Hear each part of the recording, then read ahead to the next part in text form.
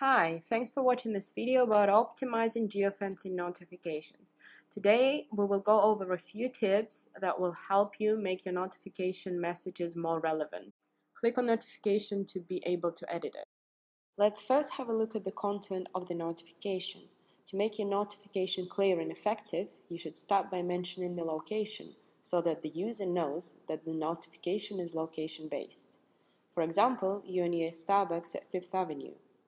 Then explain what your offer is about, for example, 10% off an espresso. Now let's go to advanced settings. Here we're choosing which action is going to trigger the notification.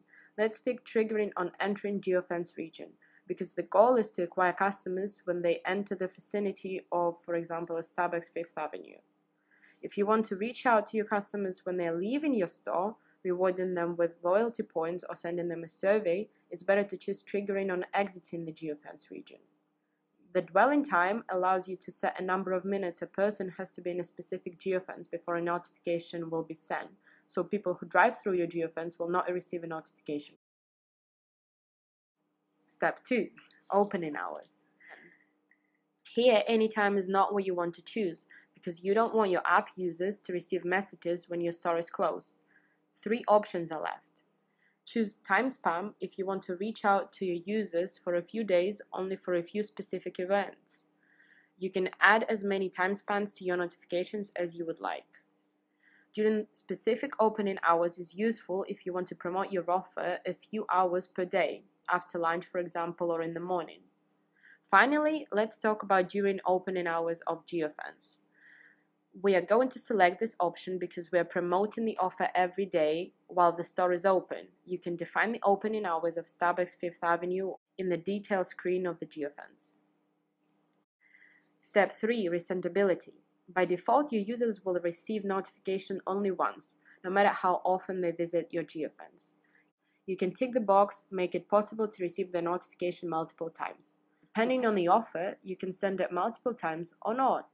Be careful not to be spammy, your app users may not appreciate that. Let's have a look at the segmentation part. Here, you can select what kind of customers you want to target. For now, you can choose female or male. If you promote dresses, for example, you might want to reach out to your female users only. This offer is general and could be targeted at any of your app users, so selecting any works fine. Step 5. Select action. Below the advanced settings, you can see select action.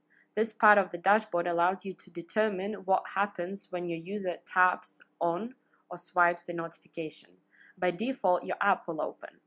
Otherwise, you can also select landing page in app.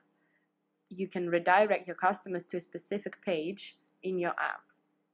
Custom data allows you to hyper-target your notifications by personalizing them even further, but it requires the assistance of developers. You can refer to our documentation for more information.